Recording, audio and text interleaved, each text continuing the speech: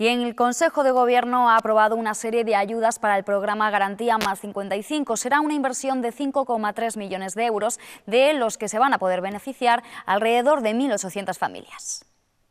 El programa abordará unos 360 proyectos impulsados por 238 ayuntamientos y 5 entidades sin ánimo de lucro.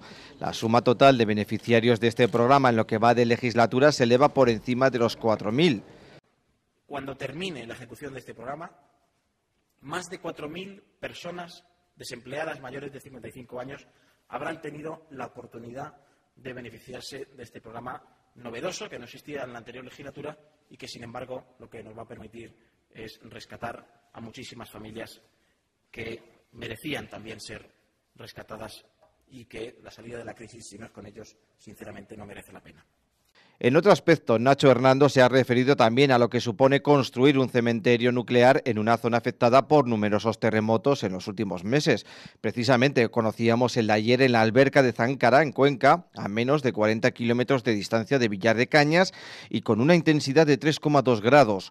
Pues a la no idoneidad de los terrenos donde se quiere construir el cementerio nuclear y los peligros del transporte de residuos, Hernando ha querido añadir los seísmos que en los últimos meses se están registrando en zonas próximas a Villar de Cañas. Que los temblores de tierra deben hacer primero tambalear el proyecto antes de que tumben una infraestructura que podría suponer un holocausto nuclear durante los próximos 40.000 años en España. El que hayamos visto esta semana nuevos terremotos en las inmediaciones de donde se quiere construir un cementerio nuclear tiene que echarnos, tiene que llevarnos a echarnos las manos a la cabeza al conjunto de la sociedad.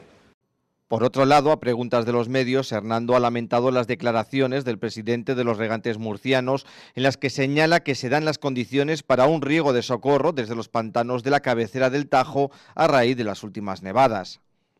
La situación de la sequía y de la falta de agua para muchas comunidades autónomas, también para Castilla-La Mancha, por supuesto, pero para muchas comunidades autónomas, y en eso tenemos una, una sobrada empatía requiere que haya un pacto nacional del agua. Ahora bien, les puedo adelantar una cosa. Si en ese pacto nacional del agua Castilla-La Mancha no está de acuerdo, no será pacto ni será nacional. Por último, el portavoz se ha referido también al último informe del Observatorio Regional del Banco Bilbao Vizcaya Argentania Research, que refleja tasas positivas tanto en crecimiento del Producto Interior Bruto como en creación de empleo, fruto de las medidas puestas en marcha por el Ejecutivo de García Paje, según ha indicado el portavoz.